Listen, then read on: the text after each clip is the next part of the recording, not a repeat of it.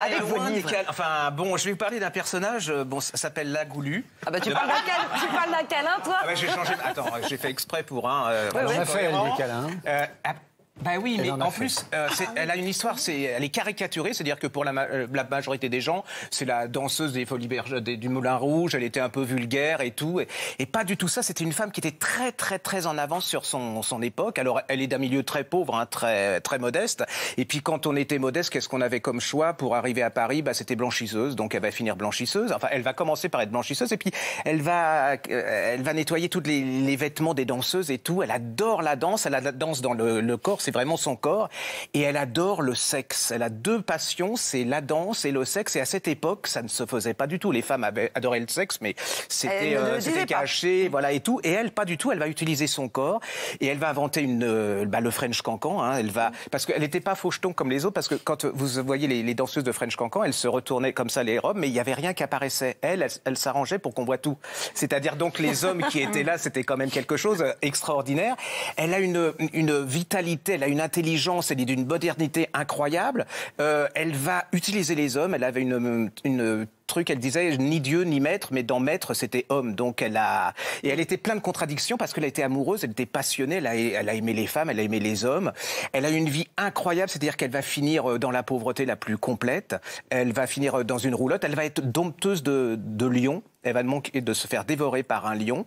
Et puis elle va disparaître comme ça. C'est une vie incroyable, mais incroyable. Et elle a été entourée, elle a été enterrée euh, loin à Paris. Et il y a que d'une dizaine d'années, je crois, qu'on a ramené son corps au cimetière de euh, Père Lachaise, Au ou, ouais, ou quelque chose comme ça, pour parce que c'est vraiment une icône française. Mais c'est pas du tout la femme neuneu. euh, c'est vraiment une femme incroyable. Quand vous allez lire ce bouquin, vous vous êtes dit, même à notre époque, je ne suis pas sûr qu'elle euh, soit pas condamnée par certaines tellement elle adorait montrer ses fesses. Elle disait j'ai des belles fesses. Et deux gars, vous allez voir deux gars qui va la peindre extraordinairement Oui. et qui va être fasciné. Elle va être fascinée par cet homme.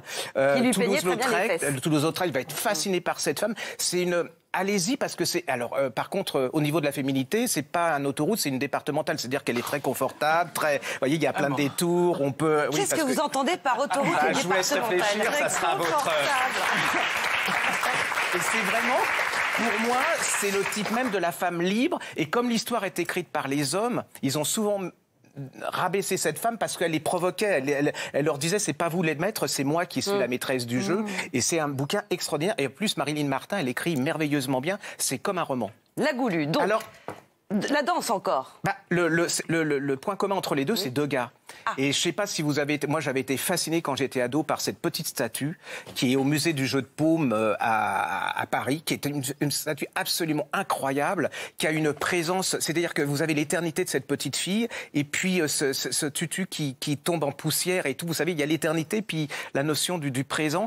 Et cette petite fille, en fait, elle va raconter la petite danseuse, c'est l'histoire de cette petite fille. Et cette petite fille, on est un peu comme la Goulue, c'est-à-dire qu'elle a, elle avait qu'une, elle était très très pauvre et on la met danseuse. Elle va être danseuse de ballet euh, à l'Opéra de Paris. Mais danseuse à l'Opéra de Paris euh, au 19e siècle, c'est pas ce qu'on, c'est pas danseuse maintenant.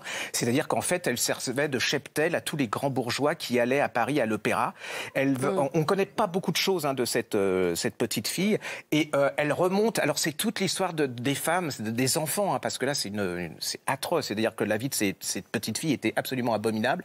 Et on va vous montrer comment cette petite fille, bah, elle va finir euh, bah, comme toutes les petites filles abandonnées par ces, ces horribles messieurs de l'époque. Elle va finir pauvre. On- elle va même disparaître. On ne sait plus qui elle est. Et puis c'est aussi euh, la création. Ces deux gars. C'est absolument un livre. Moi, c'est un des plus beaux livres que j'ai lu dans ma vie de libraire parce que c'est j'en lisais tellement. On oublie les histoires, on oublie et tout. Et là, euh, vous pourrez plus jamais voir une, une une- une danseuse de la même façon. Vous pourrez plus voir une statue de la même manière. Et ça vous vous allez vous précipiter au jeu de paume pour aller voir cette statue. Et vous verrez, c'est absolument incroyable. On dirait qu'il y a de l'énergie. Alors on disait cette prêtresse qui entourait les gens et qui dé- Ama. dégageait une énergie. Là, vous quand vous regardez cette statue, vous vous direz il y a une énergie incroyable dans cette euh, dans cette statue. Merci beaucoup, Gérard. On va